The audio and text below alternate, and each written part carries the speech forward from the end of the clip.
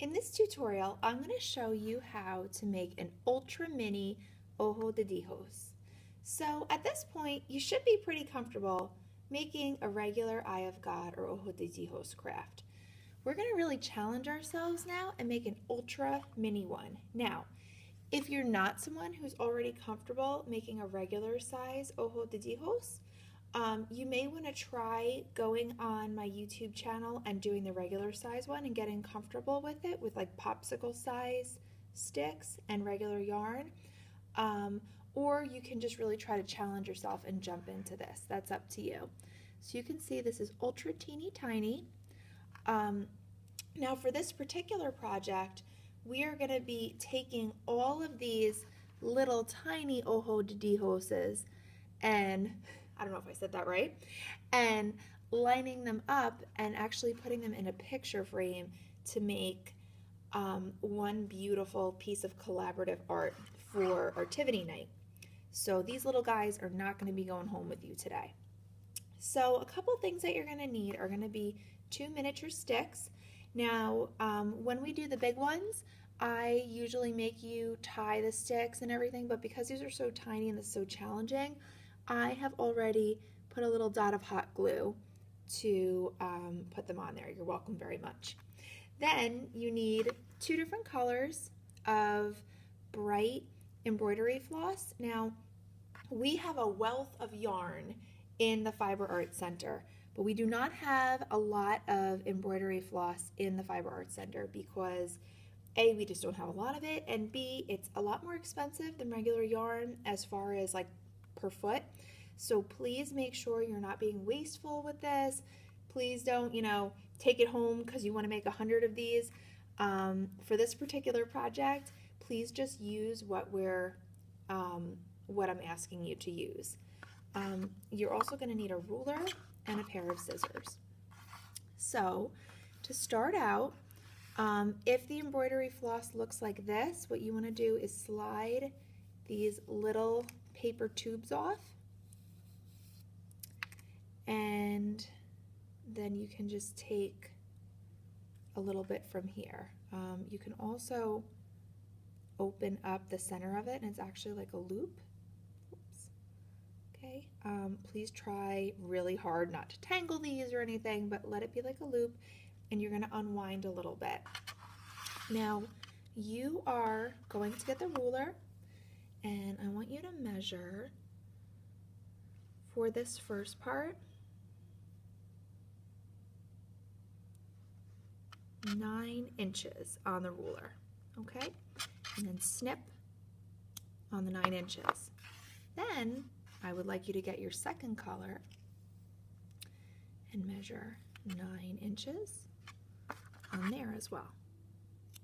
Okay, now what we want to do is we want to take both pieces, trust me, you'll be glad that you did this earlier on, and we're going to put them together, wrap them around our finger like a loop, pull through the loop, and slide the knot down. Okay, so now we have a nice little knot and we've combined the two pieces. Then snip the tail as close to the knot as you can get it. And now you have one half of it's red and one half of it is aqua. So what I'm gonna do now is I'm going to start with my red in my center. And actually right now I'm gonna put blue paper underneath myself so you can actually see the red um, while we're working. So we wanna start in the center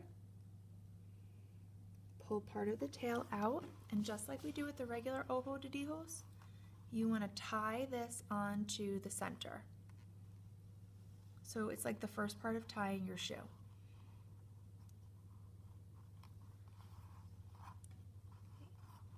And you're going to pull nice and tight. You're going to have a little tail here and then just do it one more time. Okay, now this is definitely going to be trickier than doing the large one only because it's just smaller. So maybe you could even ask a friend to hold this steady for you while you do it. Um, don't get frustrated, just know it's going to be a little challenging because it's so tiny.